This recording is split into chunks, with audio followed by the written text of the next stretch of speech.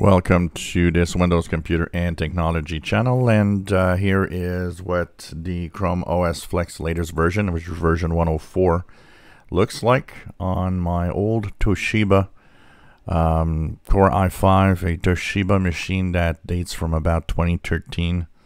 So here's a little video I made on it to show you the different options, what it looks like. Once again, there's no Google Play Store in here. Uh, it's really just a Chromebook basic cloud machine where you'll have internet, you can have email, you can go Google Docs for, you know, if you want to um, open documents. You have the Google Chrome browser to go to the web. So you'll have the web apps, stuff like that. Uh, but it's not meant for you to install uh, apps like an Android machine, for example, like a regular Chromebook. But it is quite fast for uh, on this machine, and it works great. Like I said, if you had the uh, difficulty installing it in the past, maybe it's going to work better now because uh, they've added quite a few. First of all, we're in several versions later. They've added new machines, devices, and so on.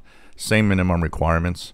So um, if you have an old laptop, an old desktop that does nothing, and you wish it would be able to do something, go to maybe on the internet and so on, try it. Um, chances are uh, that it might actually work on your device. What you see here is what it looks like in general.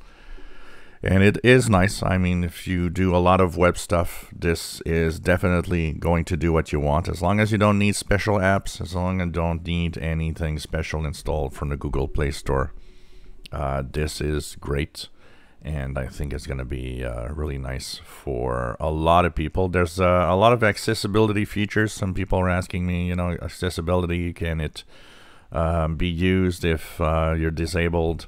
Uh, well, it does have a lot of accessibility features for people that are disabled in, in many ways, so uh, that could uh, definitely work.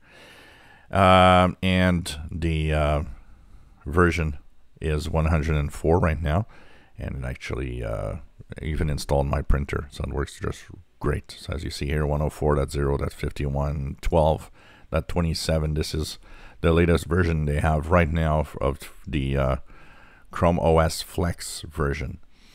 So that's a quick rundown, quick look of what it is. It's like I said, pretty quick, pretty fast, works well. Uh, everything seems to be working well. There's you can play videos, you know, YouTube videos and, and stuff like that. Of course, you can access Netflix, for example, from the web, things like that. So that is a quick rundown of Chrome OS Flex, the uh, latest version, uh, ready for broad deployment. Deployment. So that means that it's ready for pretty much anybody that wants to try it. Um, and I think it's a good alternative for old machines when you're not sure if you can install them or not.